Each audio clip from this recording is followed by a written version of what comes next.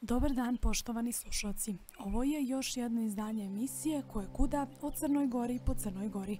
I u ovoj emisiji nastavljamo sa predstavljanjem turističkih priča sa područja Nikšića izrađenih u okviru projekta Monumental 9 od strane zaposlenih i volontera u Agenciji za lokalnu demokratiju Nikšić. Volonteri koji su radili na pričama su Jovana Bigović, Jovana Radulović i Aleksa Pavlićević. Danas vam predstavljamo priču o vinariji Dabović u selu Nudo i priču o Slanom jezeru. Za početak priča o vinariji Dabović. Vijugavim uskim i živopisnim putem na Tromeđi 14. kilometru od Grahova nalazi se selo Nudo gdje je smještena vinarija i vinogradi. Nudo je malo selo smješteno u kotlini na samoj granici sa Bosnom i Hercegovinom i predstavlja izvanredno podneblje za vinograde.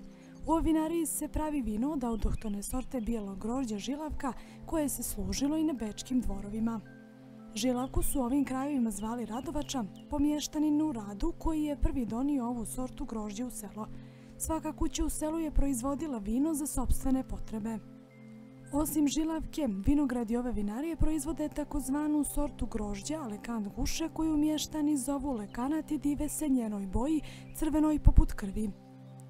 Ovim poslom vlasnik se bavi od 15. godine, u početku je to bio hobi, amaterski posao i zadovoljstva, a će mi njegova sestra Andrijana sada proizvedu 3000 litara vina i oko 800 litara rakije godišnje. Ovdje se proizvodi lozova rakija, roze bijelo vino žilavka, crveno vino serdar, ali i pripremaju neki tradicionalni domaći specijaliteti kao što su meso ispod sača, gulaš, pastrnka, pite, proje, cicvara i ostala jele koja možete probati u prijatnom ambijentu konobe koja je u sklopu vinarije. Ono što ovu vinariju čini posebnom je i bogata kulturna i istorijska baština gdje posjetioci imaju priliku da uživaju u obilasku kulturno-istorijskih spomenika te prirodnog bogatstva koje se ogledaju u bistrini rijeke Zaslavnice, domaćini organizuju obilazak svog katuna na Bijeloj gori gdje gosti mogu uživati u šetnjama po šumskim stazama, sakupljati šumsko voće, planinariti po označenim stazama, posjetiti austrijske tvrđave ili jame snježnice ili jednostavno odmarati u Maloj Brvnari i Ljetnikovcu. U nastavku priča o Slanom jezeru. Slano jezero je vještačko jezero u Crnoj Gori u opštini Nikšić. Smješteno je u zapadnom dijelu Nikšićkog polja.